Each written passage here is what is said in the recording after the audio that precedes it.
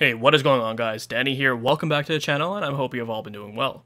Well, it looks like we're pretty much less than 24 hours away from an announcement for the upcoming RTX 3000 series from NVIDIA, and I'm sure, you know, everyone is excited as they can get. I've made a whole bunch of videos this past month and the last couple of months surrounding leaks, rumors, and other tidbits of information that has come out regarding the upcoming series, and well, looks like we just have one more video to go, and then tomorrow we'll have all the official information uh, given to us by NVIDIA themselves. There's actually going to be a stream that they're going to host on their website. Um, as you guys know, with everything that's going on in the world right now with an ongoing global health crisis, it's not like they can uh, organize an in person event. So, online streaming is the way to go these days. Um, so the reason I wanted to make this video is because it looks like a lot of AIBs have actually jumped the gun a bit and have started leaking or teasing a bit of information about their custom models for the RTX 3000 series. Um, and you know, this information's out there. Uh, one of the uh, cards that was leaked was the Asus model, the Asus ROG Strix RTX 3090. And uh, this one was posted by VideoCardz. And this one's actually interesting because this render, or there was a render of this exact same card that was posted a couple months ago. And uh, that was one of the reasons uh, as to why I made a video explaining why, you know, the RTX 30 series are a lot closer than you guys think uh, they are. A lot of people were speculating that they were going to come out, you know, late September or early October. But I mean, we started getting all these teases and leaks uh, mid August, and then they said they were going to do an announcement on the 1st of September. Uh, so this render or this card over here is exactly the same as the render we saw from a couple months ago.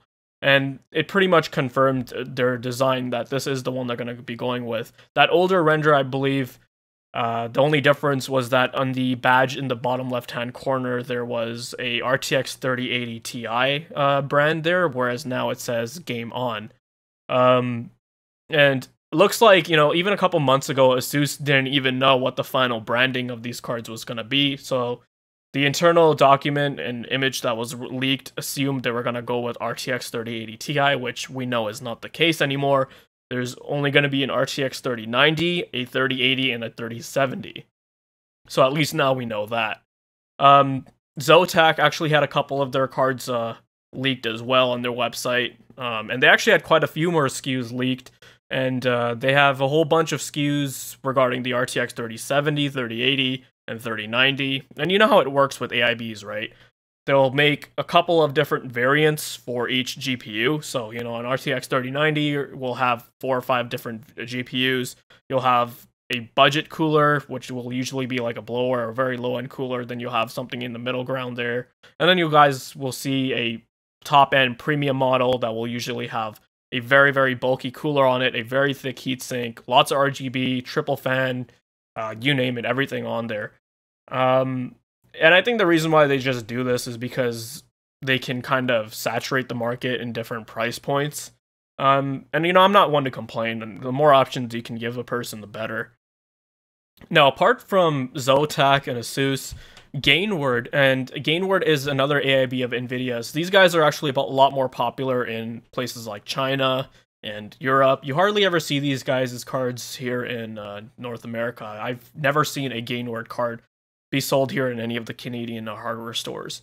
But uh, Gainward actually released two documents, uh, and in their documents, they full on show all the official specs of the RTX 3080 and 3090. There were two other models of the same kind of looking card, it's just that those two models just had slightly lower clock speeds. But apart from the other specs, they were pretty much the same. So I want to quickly just go over two of these uh, cards here. And it's interesting because they pretty much showcase all the same official specs that NVIDIA is probably going to be talking about tomorrow too. Um, so this one here is the Gainward GeForce RTX 3080 Phoenix Golden Sample. I'm not sure if Golden Sample is going to be the final name of this card, but you know, let's go over some of these specifications here. So at the top, they've got process technology, and what's interesting here is that it says 7 nanometer, when everyone was under the assumption that NVIDIA wasn't going to go with the TSMC 7 nanometer process node uh, for their GeForce lineup. And that the 7 nanometer node from TSMC would be used for their cards such as the G100, GA100 chips, which are the uh, cards which are used in data centers and their accelerator uh, GPUs. Um, so it's interesting. Now, you know, they don't specify if it's 7 nanometers from TSMC or if it's uh, Samsung 7 nanometer node, which is a lot more closer than their 8 nanometer node would be. So, you know, it's, it's, it's a little bit of a surprise here. And, you know, and everyone was under the assumption that it's going to be 8 nanometers from Samsung because we kept on hearing about these high power draw figures. This one here has a 320 watt uh, TGP. Um, you know, it, it made a lot of sense. So seeing seven nanometers here was interesting, and I guess in tomorrow's announcement they'll definitely um, showcase some more information. But the RTX 3080 here is listed with 4,352 CUDA cores, 10 gigabytes of memory. Yeah, unfortunately, there's going to be no 12 gigabyte, 16 gigabyte, or 20 gigabyte model, at least that I that I know of, that's going to be released at launch. So 10 gigabytes it is. Really, really hope they would have went with more, as I feel felt like you know 10 gigabytes just isn't enough for like a high end card like this, especially if they want it to last for a few years. But you know that's how it is with these guys, planned obsolescence. Um, so you know they've got a 320 bit bus, GDDR6X memory, a boost clock of 1740 megahertz, and a memory clock of 9500 megahertz, which, you know, when you double that, it's not effectively 19 gigabits per second memory, um, and a memory bandwidth of 760 gigabytes per second. Now, key features here NVIDIA Ampere architecture. We'll definitely know more information tomorrow. Uh, like I said, 19 gigabits per second GDDR6X memory, second gen ray tracing cores, and third gen tensor cores. So this is key here because these are essentially the cores that's cores that are going to allow for much better ray tracing performance and you know deep learning, uh, super sampling performance as well. DLSS 2.0, or they might even announce a DLSS 2.1 or 3.0 tomorrow. We'll we'll have to wait and see about that. PCI Express Gen 4 um, this was pretty much a given. AMD was already using PCI Express Gen 4 last year with the 5700 and 5700 XT, so you know it only made sense for Nvidia to obviously hop on board. And with newer motherboards coming out, adapting this uh, updated uh, updated interface, then you know Gen Gen 4 is definitely the way to go for more bandwidth. And we'll we'll definitely see how it goes when people do benchmarking with these cards if Gen 4, PCI Express Gen 4, the throughput was really needed for these cards. You might maybe see performance gains out of an RTX 3090 for it. We'll have to wait and see just because of how much power that card that one's packing. Uh, NVIDIA DLSS, GeForce Experience, G-Sync, you know the deal, all that stuff. Um, and then, you know, here we've got some more information as we scroll down at the bottom. And you guys can see the I.O. layout. So we've got three display ports, and these are three DisplayPort 1.4a slot uh, ports. And you know, I was hoping they would have went with DisplayPort 2.0, um, as it allows for much much higher bandwidth and uh, high resolution capability. Uh, so I'm, I'm a little bit confused as to why they would decide to go with DisplayPort 1.4a when DisplayPort 2.0 was I I think from what the uh, VESA Association said, they said it would be ready by late 2020. So I guess they just didn't get it working in time. Now HDMI 2.1, this is huge. As someone who has an LG C9 OLED TV that has an HDMI 2.1 port, so I can take advantage of 4K at 120 hertz with G-Sync. This is crucial, and this is one of the whole reasons why I'm I'm looking forward to upgrading to one of these 3000 series GPUs. And then, of course, they've got some dimensions listed here, and uh, they also tell you what comes in the box with the accessories and stuff. And then moving on to the right hand side here, we have their minimum system requirements. So obviously, you'll need a PCX, a motherboard with PCI Express X16, uh, two 8-pin PCI Express supplementary supplementary power connectors. So I guess this one isn't going to be adopting that new 12 pin uh, power connector that NVIDIA has uh, been working on. I think that one's only going to be included on the uh, Founders Edition cards. Um, probably like the uh, RTX 3090 because that one consumes a lot more power. Um, minimum 750 watt power supply requirement though, so that's quite a bit higher than what's usually recommended for higher end cards. Obviously, these are a little bit exaggerated because they try to take into account for lower quality power supplies. Um, but yeah, 750 watts. That's that's quite high, and uh, you know, it definitely concerns a lot of people if their power supplies will be up to snuff for the requirement for these RTX 3000 series GPUs. I'm, I'm thinking, you know, as long as you don't have a super power hungry GPU, you're not running, you know, hundreds of fans in your system, you don't have you don't have like 10, 20 hard drives as well, you should be fine with a even a quality 650 watt power supply. And this one only states two 8-pin PCI Express supplementary supplementary power connectors, so you should be able to slot this into most systems and be fine. Alright, and next up we've got the RTX 3090, the Phoenix Golden sample again. Keep using the word golden sample and it makes I guess this uh, this pretty much signifies that it's like the top bin for them. It's going to be the top tier SKU.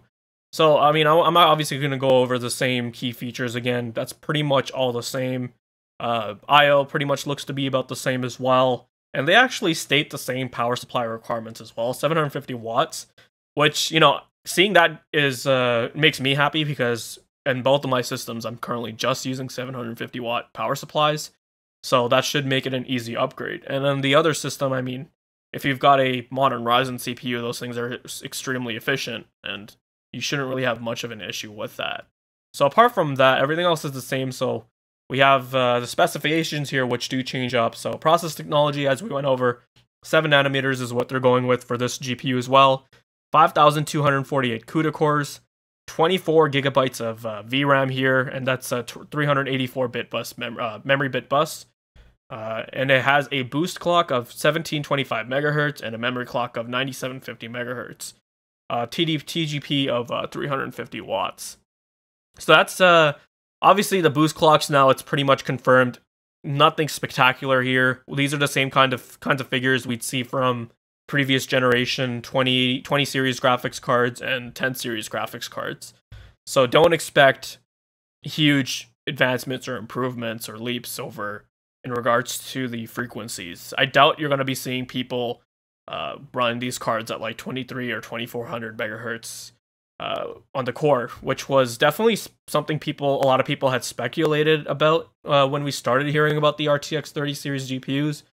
Um, so most of the advancements definitely are not coming from frequency. It's going to be from um, the improvements that the Ampere architecture brings us. You know, better ray tracing performance, better uh, advanced third gen tensor cores. So apart from all the other information, that's pretty much it.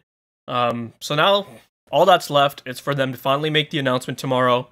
It's going to be really one interesting day. I'm I'm glad that the uh, time they picked works out a lot better for me. It's going to be in the midday for where I am, so that makes it easy. I won't have to get up super early in the morning or stay up late. So I do feel for you guys who are across the globe and you know have to wait until 2 3 a.m. in the morning and gotta catch the stream. That's gonna be awful. Um, so yeah, tomorrow they're definitely AMD. What what what can we really expect from Nvidia tomorrow? They're gonna be obviously talking about the Ampere architecture. They're gonna showcase the SKUs. Um, they're gonna be talking about what's improved. Obviously, when it comes to in-house benchmarks, take it with a grain of salt. They're obviously going to be showing their products in the best light. It's not just not just Nvidia who does this. AMD does it. Intel does it. Everyone does it. Uh, so you're gonna wait for you're gonna want to wait for third-party independent reviews. Obviously, I'm gonna be trying to get the cards as early as I can, but I don't get review samples sent to me. I go out and buy my own cards, so it's about as early as I can get the cards from uh, a supplier. Um, so the biggest thing that remains is price. What the prices are going to be.